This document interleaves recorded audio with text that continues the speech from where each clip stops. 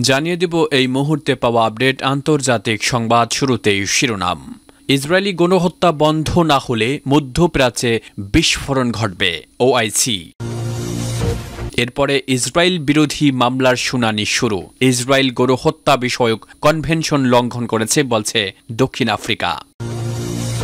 জানাব হিজবুল্লাহকে, এত ভয় পায় কেন ইসরায়েল? এরপরেই সোলাইমানি স্মরণ অনুষ্ঠানে বোমা বিস্ফোরণের মূল হোতা চিহ্নিত। এবং সবশেষে গাজার পরিস্থিতি নরকের মতো, বলছে বেয়ারবক। শিরোনামগুলো শুনছিলেন এবারে বিস্তারিত। অবরুদ্ধ গাজা উপত্যকায় গণহত্যা ও যুদ্ধাপরাধ সংগঠিত করার দায়ে ইসরায়েলের বিচার দাবি করেছে ইসলামী সহযোগিতা সংস্থা বা ওআইসিভুক্ত দেশগুলোর সংসদীয় ইউনিয়ন। গাজা উপত্যকায় চলমান ইসরায়েলি আগ্রাসন ও বিদ্যমান পরিস্থিতিতে মধ্যপ্রাচ্যে নজিরবিহীন বিস্ফোরণ ঘটতে পারে বলেও সংগঠনটির পক্ষ থেকে হুঁশিয়ারি উচ্চারণ করা হয়েছে। বুধবার ইরানের রাজধানী তেহরানে সংগঠনটির পঞ্চম জরুরি অধিবেশন শেষে চূড়ান্ত ঘোষণায় এই দাবি জানানো হয়। খবর পার্সটুডের ওআইসির ঘোষণায় বলা হয়েছে ইসরায়েলকে অবশ্যই যুদ্ধাপরাধ, মত মানবতা বিরোধী অপরাধ এবং গাজার বেসামরিক জনগণের উপর গণহত্যা চালানোর দায়ে বিচারের মুখোমুখি করতে হবে। এছাড়াও ইসরায়েলের এই অপরাধ যজ্ঞের বিরুদ্ধে নিন্দা জানানোর জন্য আন্তর্জাতিক সম্প্রদায়ের প্রতি আহ্বান জানানো হয় এ ঘোষণায়। পাশাপাশি ইসরায়েলের চলমান আগ্রাসন দ্রুত বন্ধের জন্য আন্তর্জাতিক সম্প্রদায়কে তাদের দায়িত্ব পালন করতে হবে বলেও সতর্ক করা হয়েছে। গাজায় গণহত্যা বন্ধ না হলে মুসলিম বিশ্ব আর চুপ করে থাকবে না বলে হুঁশিয়ারি উচ্চারণ করেছে সংস্থাটি। এদিকে গাজা থেকে ফিলিস্তিনিদের জোরপূর্বক বাস্তুচ্যুত করার যে পরিকল্পনা নিয়েছে ইসরায়েল তা সরাসরি প্রত্যাখ্যান করেছে ওয়াইসি। এর আগে গেল বছরের ডিসেম্বর মাসে ইসরায়েলি মন্ত্রী স্মোট্রিস বলেছিলেন, গাজার বিশ লাখ মানুষের মধ্যে যদি দুই লাখ রাখা হয় আর সবাইকে বহিষ্কার করা হয়, তাহলে গাজা কখনো ইসরায়েলের জন্য হুমকি হয়ে উঠবে না। এর একদিন পর আরেক মন্ত্রী বেন জাভির অতীতে গাজায় বসবাসরত ইহুদি নাগরিকদের আবার গাজায় ফেরার আহ্বান জানান। এই দুই মন্ত্রীর এমন বক্তব্যের পরপরই বিশ্বব্যাপী নিন্দার ঝড় উঠেছে। গাজার হামাস সরকার এই বক্তব্যকে অবাস্তব কল্পনা করে উল্লেখ করেছে।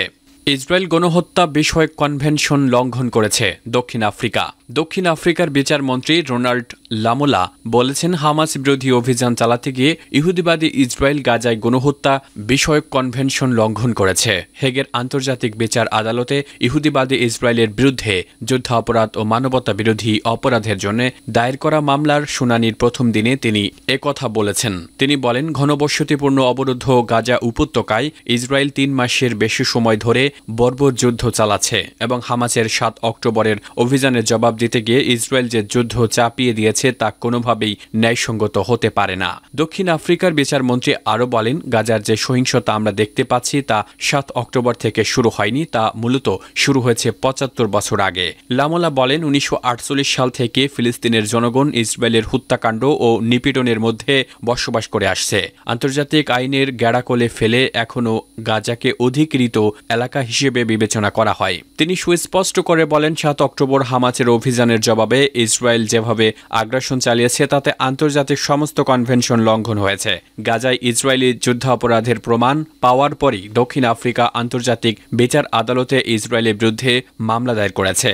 ইসরায়েল হামাস সংঘাত শুরুর পরপরই ফিলিস্তিনের সমর্থনে এগিয়ে এসেছে ইরান সমর্থিত লেবাননের সশস্ত্র গোষ্ঠী হিজবুল্লাহ। সীমান্তে ইসরায়েলি বাহিনীর সঙ্গে তাদের দফায় দফায় সংঘর্ষের ঘটনাও ঘটেছে। হিজবুল্লাহ ইসরায়েলের জন্য কী ধরনের ঝুঁকি তৈরি করতে পারে এবং তাদের ভাণ্ডারে থাকা অস্ত্র ইসরায়েলের জন্য মাথা ব্যথার কারণ হতে পারে কিনা, সে নিয়ে এক প্রতিবেদন করেছে ইসরায়েলি দৈনিক হারেজ।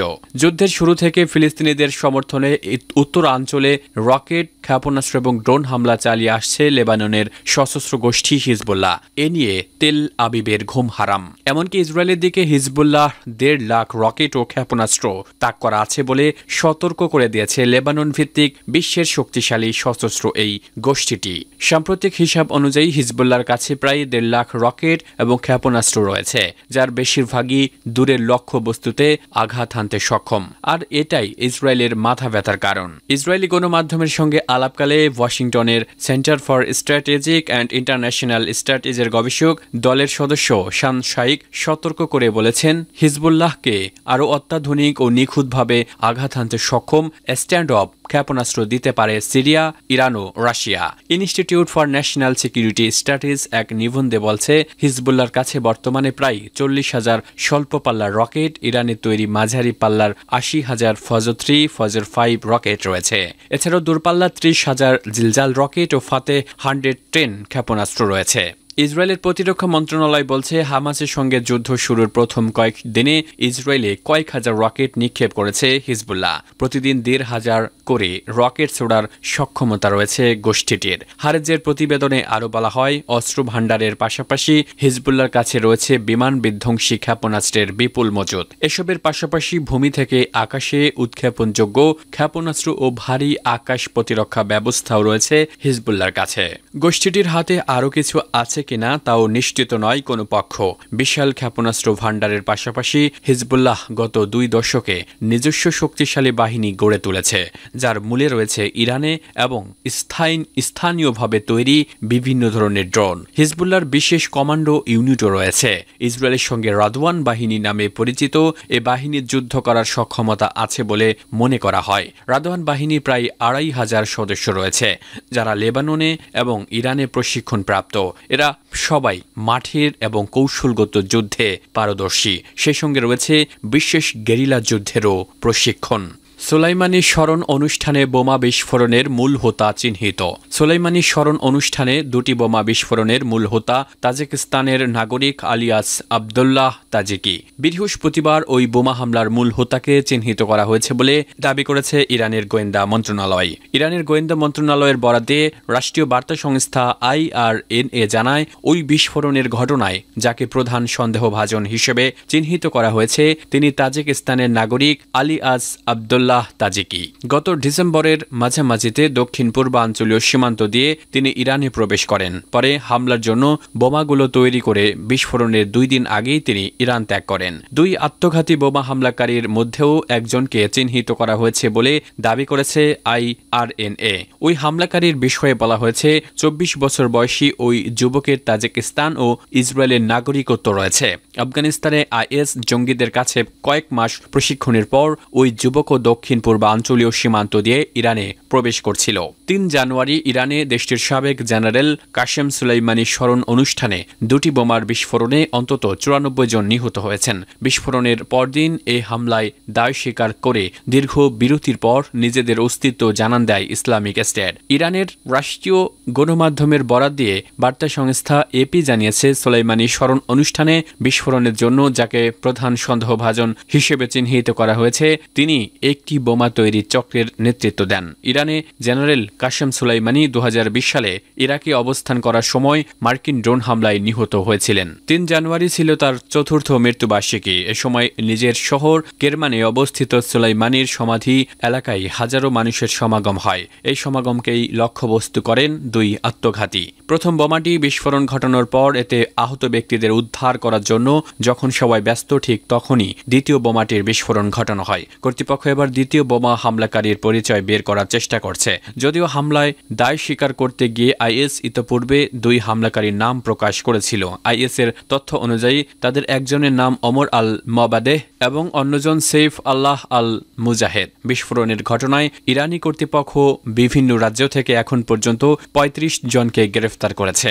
গাজার পরিস্থিতি নরকের মতো। বেয়ারবক। পশ্চিম তীর ঘুরে মিশরে পৌঁছেছেন জার্মান পররাষ্ট্রমন্ত্রী আনালেনা বেয়ারবক। রাফা সীমান্ত চব্বিশ ঘণ্টা খোলা রাখার আবেদন। জার্মান পররাষ্ট্রমন্ত্রী দাবি করেছেন মিশর এবং গাজার সীমান্ত রাফা চব্বিশ ঘণ্টা খোলা রাখা প্রয়োজন। প্রতিনিয়ত সেখান থেকে গাজায় ত্রাণ পাঠানোর ব্যবস্থা করা দরকার। তার কথায়, গাজার পরিস্থিতি নরকের মতো। সেখানে মানবিক সাহায্য পৌঁছে দেওয়া সবচেয়ে জরুরি। রাফা সীমান্ত যাতে চব্বিশ ঘণ্টা খোলা থাকে, তার জন্য জার্মানি সব রকম চেষ্টা চালাবে বলে এদিন আশ্বাস দিয়েছেন বেয়ারবক। সীমান্তে প্রতিদিন অন্তত তিন হাজার ট্রাকের লাইন পড়েছে বলে জানিয়েছেন তিনি। কারণ প্রতিটি ট্রাক খুঁটিয়ে পরীক্ষা করছে ইসরায়েলি সেনা। ট্রাকের ওই লাইন চোখে দেখা যায় না বলে জানিয়েছেন জার্মান পররাষ্ট্রমন্ত্রী। রাফা সীমান্তে তার অভিজ্ঞতা ভয়াবহ।